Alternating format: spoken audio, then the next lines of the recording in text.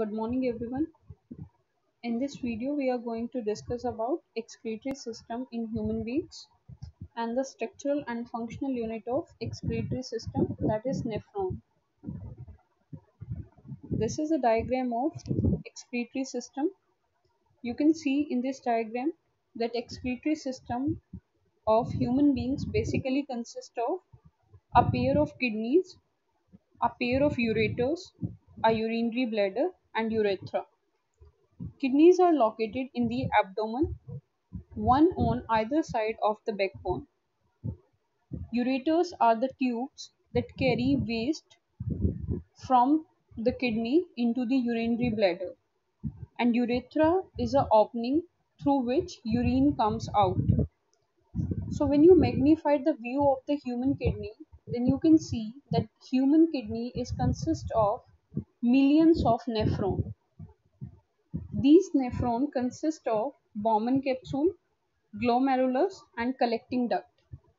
As I told you, the artery and veins that are arises from the lungs are named as pulmonary artery and pulmonary vein.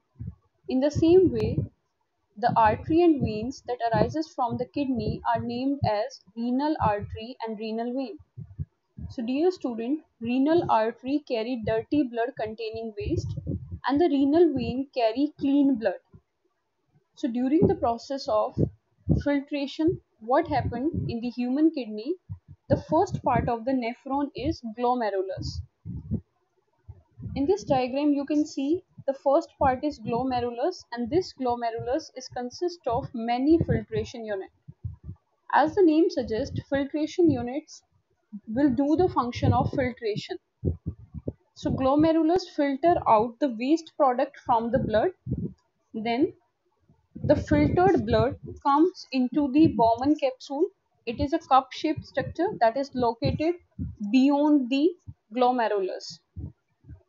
This Bowman capsule is attached with U-shaped tubule where selective absorption of the substances takes place. Selective absorption here I mean that there are various substances into the blood of human beings that can be used by our body like glucose, some less quantity of salt and amino acids. Amino acids are the basic units of proteins. So the selective substances that are not harmful for our body like glucose, salts and amino acid, they get absorbed into the U-shaped tubule so the basic function of the U-shaped tubule is selective absorption of substances. And the waste products like urea or uric acid get collected into the collecting duct. So after this process, the blood is clean now and the clean blood is carried out by renal vein. So this renal vein carry clean blood to the lungs. In the lungs, oxygen is being added into the blood and then heart pumps the oxygenated blood to all the parts of the human body. So this is a main process that is involved in the process of excretion. So the complete definition of the word excretion is the removal of waste product from the body. Thank you.